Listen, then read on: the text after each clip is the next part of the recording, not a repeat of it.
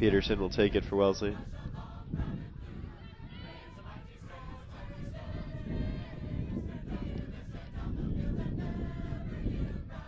Uh, scramble in front of the goal mouth, and Wesley and uh, Wes Wellesley rather has scored just a minute and two seconds into the game.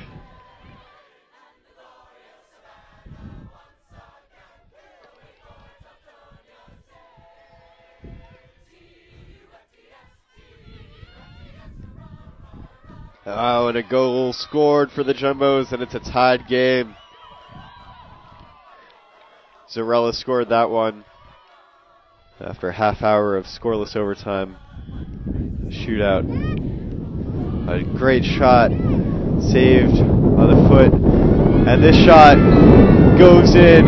Jumbos take a 2 to 1 lead finally. 20 minutes of pressure, and no results.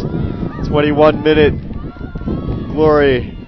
Another goal for Zarrella, her second of the game, her ninth of the season. And every second precious.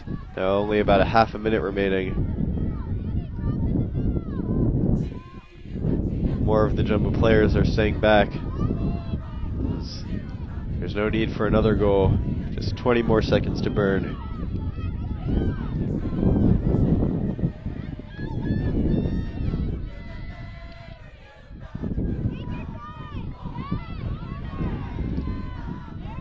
And the last few seconds run off.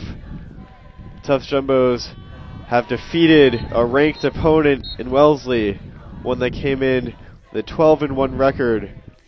Jumbos improve to 9 and 3 on the season.